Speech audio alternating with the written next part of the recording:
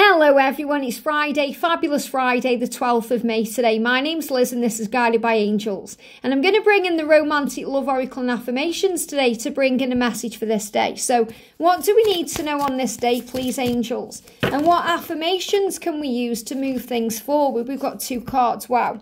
So, the first card is Speak Your Truth. And this may be a day when you speak up for yourself you speak your truth and maybe that's on your mind or you're worrying about it or you're not sure what your words to use or the words won't come out. I express myself easily. That's a great affirmation to use today. And this is also a great sign for twin flames that the masculines want to speak their truth and express themselves easily to you because your perfect partner is coming. So a huge sign today about communication coming in and the masculine's returning to the divine feminine because you're ready for love. So use the affirmation today I am ready for love and I express myself easily.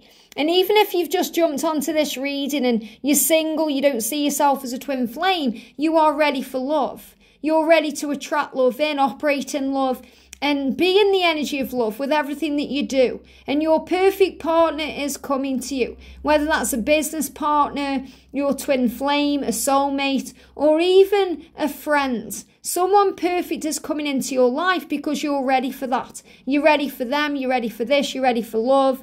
You're ready to express yourself, you're ready to speak your truth, and most importantly, you're ready to be you. So, a great message about forward motion and change. I hope this helps. Have a great day, and I'll see you soon.